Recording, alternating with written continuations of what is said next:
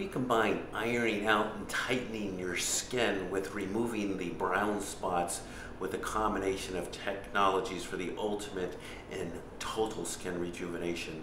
We're combining the Lutronic Genius radiofrequency microneedling that you're seeing here being performed in the office with some topical lidocaine cream in cold air all in about 40 minutes time to iron out the wrinkles. We then wipe off the blood and then we fractionated opus plasma to peel off the brown spots and remove any fine cracks in the skin. And then we spray on PRP as well as inject it to enhance your healing. This is how she looks 30 minutes after the procedure. She's going to look completely healed on the surface within two days. Here you're seeing a month afterwards. The collagen production and tightening will be continuing for the next six months as she grows younger looking. You can book your free consultation online at drgoodnight.com.